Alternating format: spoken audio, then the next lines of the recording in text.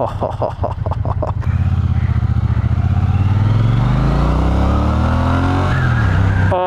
this thing has got some serious go.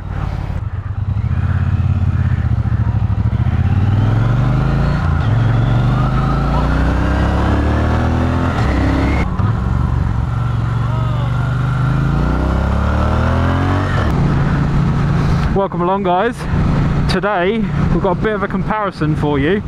We've got a Triumph T120 Bonneville and then I don't know if you can see that in my rear that's uh, my girlfriend Emma. She's on the T100 Bonneville. I'm going to do a bit of a comparison between the two and uh, tell you what I think of them so stick around and stay tuned if you're interested.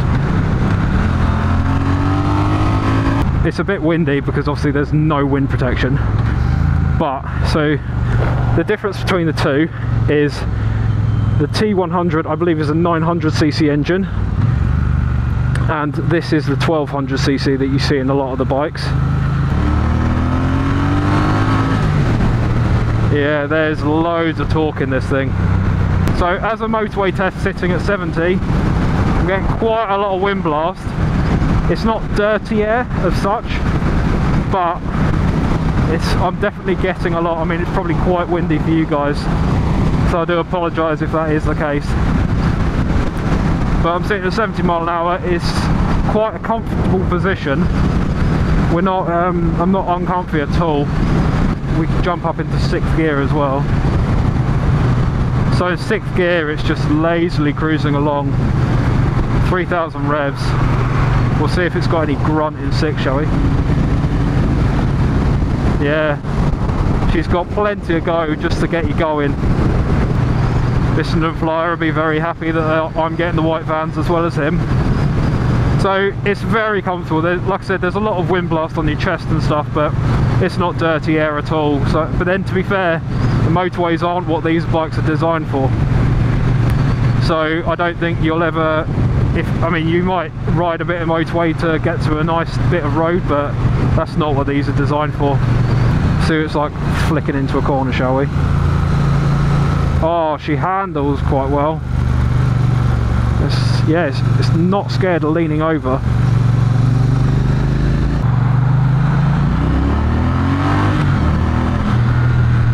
Oh the noise of that thing. God.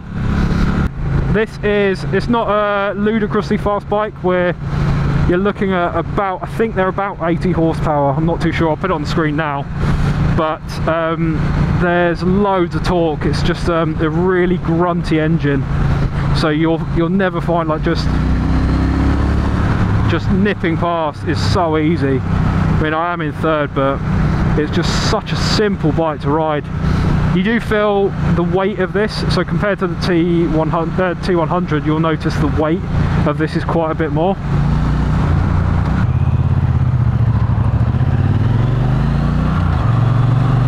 yeah she's uh, she rides really nicely. It's very smooth. Like the I have noticed the throttle's a little bit on and off. So I believe the T100's around the sort of 55 horsepower mark which is obviously uh, significantly less than this. But I think the thing for me is which the reason we're sort of riding these is that uh, my uh, Emma she wants a sort of toy bike for the weekend as we all do um, but she loves this sort of retro look. Now she was worried about the weight um, because this is quite a bit heavier than the T100 I'll put weights on screen now. But I think this bike the T100's around starts around the nine grand mark whereas this starts around ten and a half.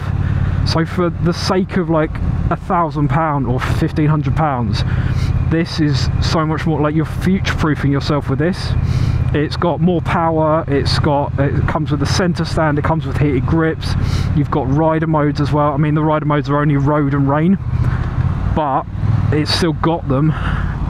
And also you get on this you get the double front discs uh, and it's also what uh, 1200cc so it sounds incredible.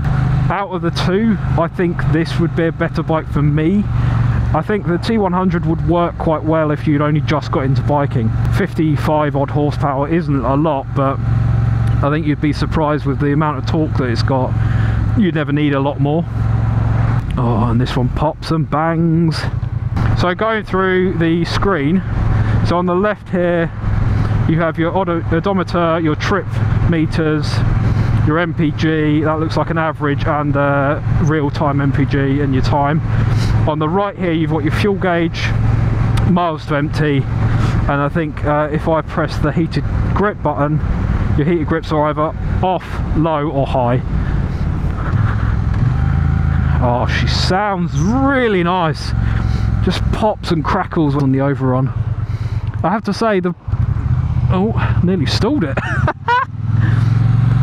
because it's a big 1200cc lump, they don't like to be um, laboured or revved or anything like that. So you might find that you have to rev it a little bit more.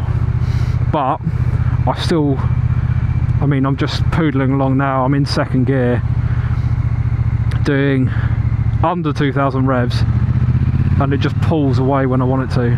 I think as a, a lazy weekend bike, this is this would be phenomenal. And the customization on them is really really worth it as well. To get a Bonneville that looks unique wouldn't be that hard. Want to swap? Another thing that I quite like with this is I'll, uh, I'll see if I can get a shot of it but there's uh, an LED DRL that runs around the bottom of the light and it looks really good. Well you see how jumpy that was then? So I'm off the thing and it's a bit snatchy there you go. So searching a bit. But yeah I think as soon you, all you have to do is pull the clutch in. Yeah so all I'm doing with this to when I'm pulling away is I'm I'm putting a little bit more revs in or feeding the clutch out a little bit longer. So that's fine. The heated grips on this I've got them on high and they're getting quite warm. You have to find that standard heated grips on a bike are a little bit naff but I'm actually quite impressed with how warm my hands are getting they're not going to be like they're not going to be as hot as uh, some like Oxford ones or anything like that, but they're still really warm. I have to say the riding position's really nice as well. It's quite a neutral sort of feet are underneath you. You got your standard sort of L shape, and it's just really good. I'm gonna try a bit of filtrage. You can feel the weight. I'll be honest, but as soon as you get going, the weight goes. It passed.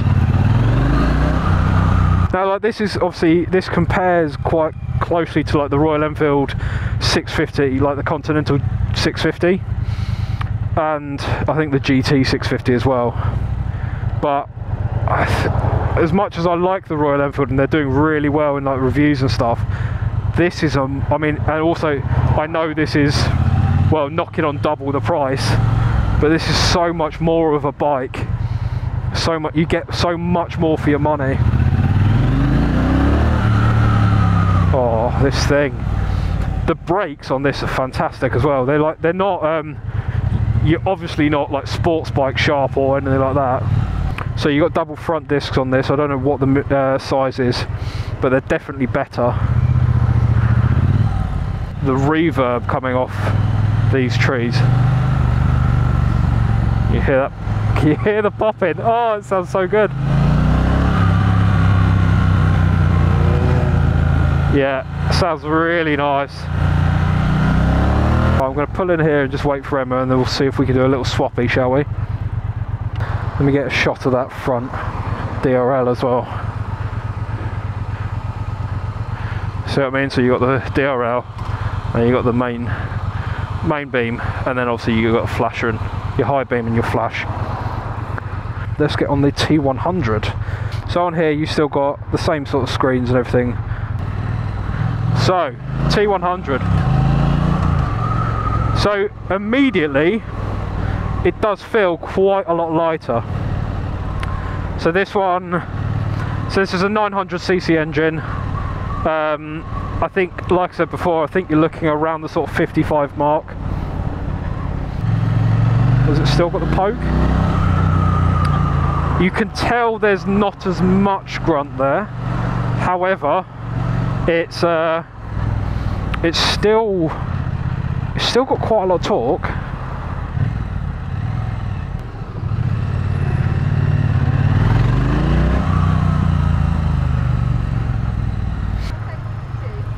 Huh? Couldn't have chosen a busier town centre now.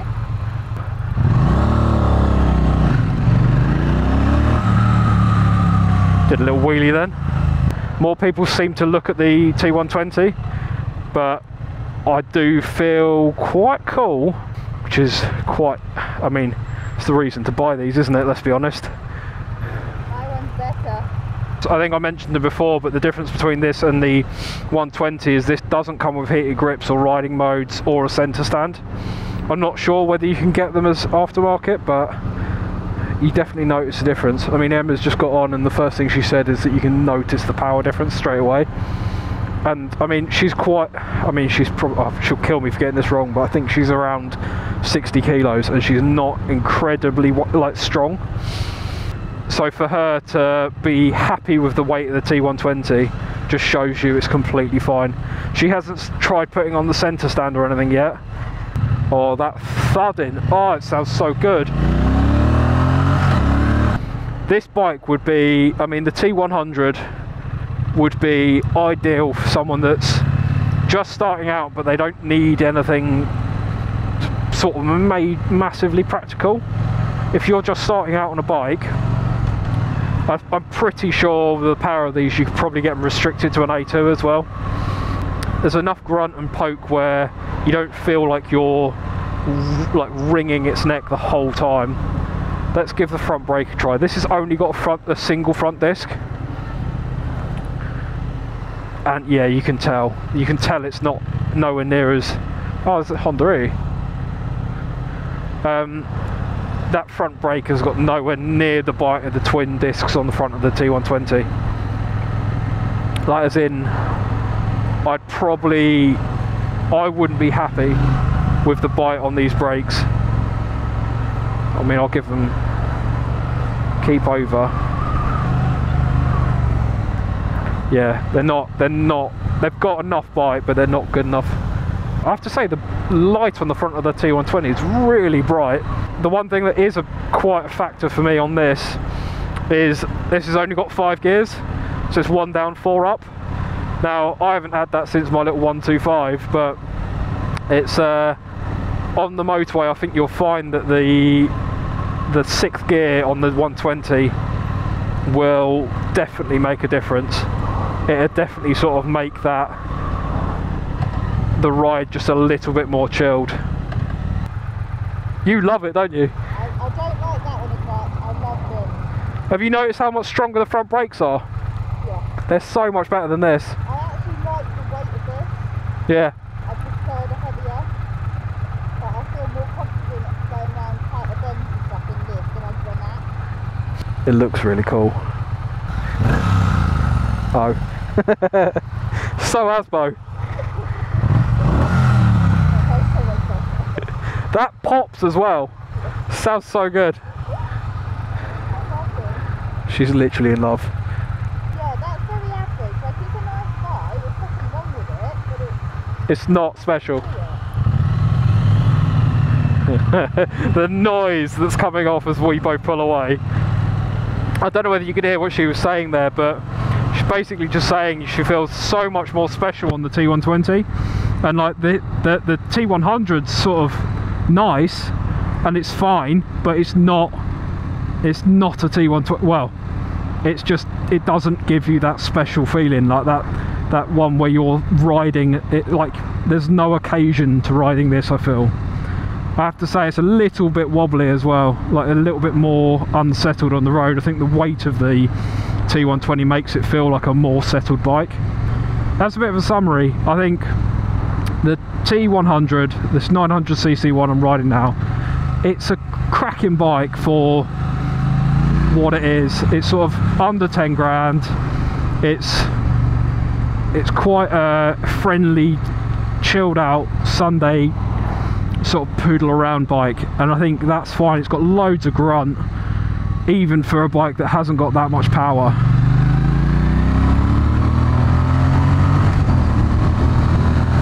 but yeah it definitely doesn't kick up as much as the other one does. The front brake is a little bit, it's a bit meh, if you know what I mean. It's it's good. It does it stops the bike, but it's not it's not uh, on the T120 when you pull the front brake on. You're you're like, oh Jesus, that's that's good. Sort of like that stops you quick. Whereas this doesn't have that. Um, but as a first bike or first big bike should I say and you want this sort of style Bonneville or Bobber or anything like that if you're looking for that sort of this sort of style bike that you can customize I mean if you haven't already go and have a look at the Thornton Hundred motorcycles. There's a guy called Jody in Milton Keynes who mods Triumphs I think he's got an affiliation with Triumph. But he built a um, a custom T120 for Joe Wicks, the body coach guy.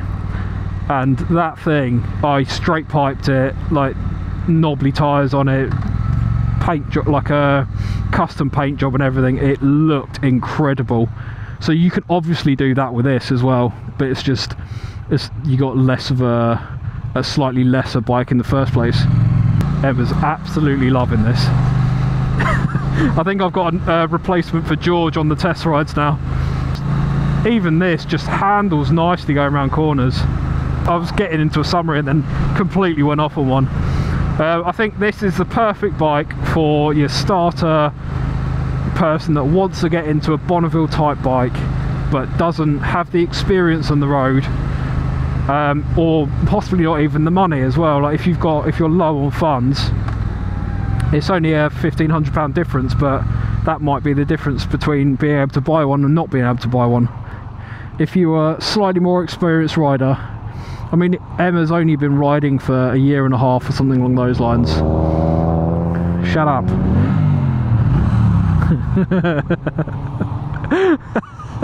This is the most asbo I've ever seen my girlfriend.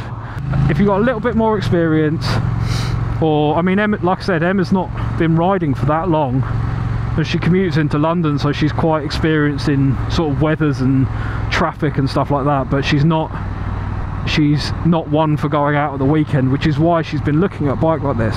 I go out for a ride on my bike all the time and she just never comes because she's not interested in there's no interest in her like riding her bike for enjoyment. I probably should mention she rides an NC 750 right let's do a bit of a roll on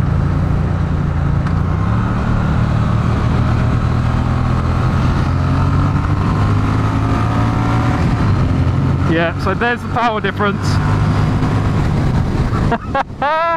Yeah there's the power difference between the uh, T120 and the T100 that's so good. I just saw a I saw a drop down a couple of gears. This is the issue with the T100 is that I'm now in fifth gear. I'm doing just over set well I'm doing about 70 and I'm doing 4,000 revs. It does sound like it's it needs another gear that is I mean that's literally it. It just needs another gear. Um, the riding position's about the same but it's, it is quite bouncy this one. I'll give it I'll be honest.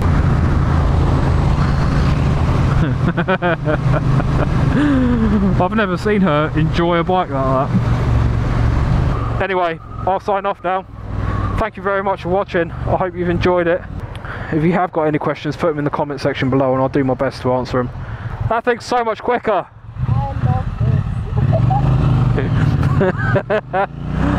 oh, it's so much fun being out. Well, she's like, she's ragging it around and uh, enjoying it. It's really nice to see her enjoy a bike, I have to say. That's the bigger thing for me. But yeah, anyway, thank you very much for joining me. I hope you have enjoyed it. If you do like these kind of videos and stuff in the garage, feel free to subscribe. There's plenty more on the way. So I will, uh, I'll see you in the next one.